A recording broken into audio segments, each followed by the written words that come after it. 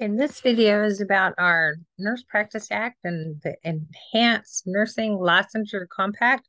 This is pretty cool. It's a it's um uniform licensure requirements for a multi-state license.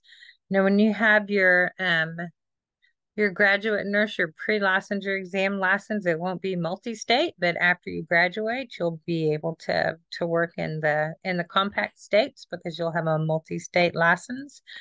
And what this does is this this mutual recognition model allows nurses um, with a license in one state to practice nursing in different states as long as they're a part of the nurse practice. I mean, it's the com as long as they're part of the nurse compact. There we go. So um what this means is that the nurse has to hold one license. They hold one license in their primary state of residence. So if I live in Texas, my primary state of residence is Texas, then that's where my my license is. If I move to New Mexico, then my primary state of my primary residence is in New Mexico, then I would need a New Mexico license. Right.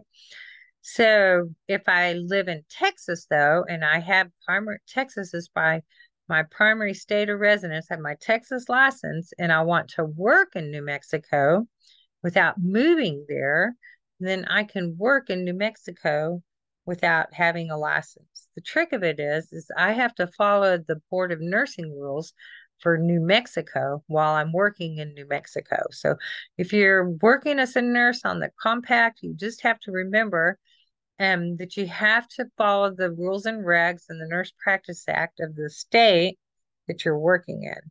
And the other thing is that your primary state of residence is always where your primary license is based out of. And check this out the compact's gotten really big.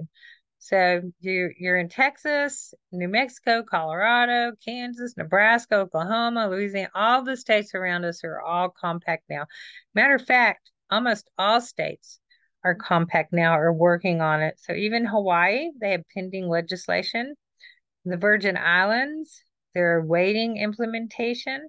Alaska's got pending legislation. So almost anywhere in the US, if you if you have a, a primary state of residence in Texas, you can work in any of these states as a travel nurse without another license. And pretty soon these here too, because they're just not enacted yet.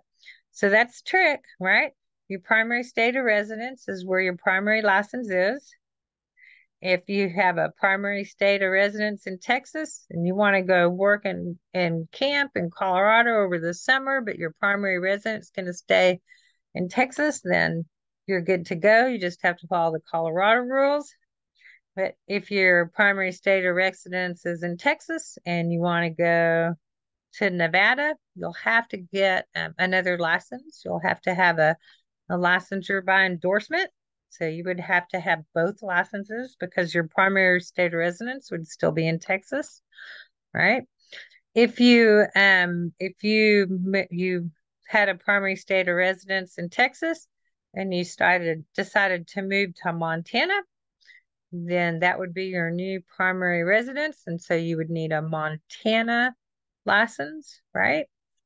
So that's the trick of it. Um, your primary, like I said, your primary state of residence is where your license is based. And then you can you can work in all these other areas here as long as you follow their rules. So the nurse compact's pretty cool. You can do a lot of fun travel and and um, see see the countryside if you want to. And that is the end of the nurse compact.